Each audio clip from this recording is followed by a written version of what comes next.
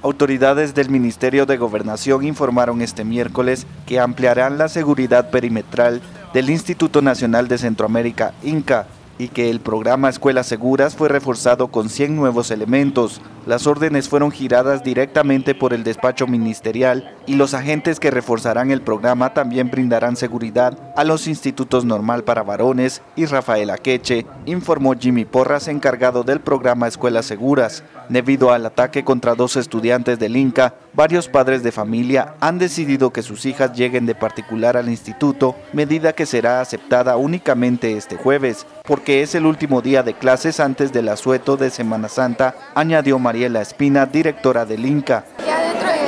Todo va a estar normal, ha estado normal y seguirá estando normal, vamos a estar trabajando y que hemos eh, ya platicado con las autoridades para que nos garanticen la seguridad en el perímetro del establecimiento. Las jóvenes regresarán a recibir clases de forma normal hasta el 21 de abril próximo y recomendó a los padres vigilar qué hacen sus hijas en su tiempo libre para evitar problemas. Negó que vaya a renunciar del cargo y afirmó que ya no han recibido llamadas de amenaza o extorsión. Con información de Carlos Álvarez e imágenes de Estuardo Paredes, para Prensa Libre Hoy, Luis Velázquez.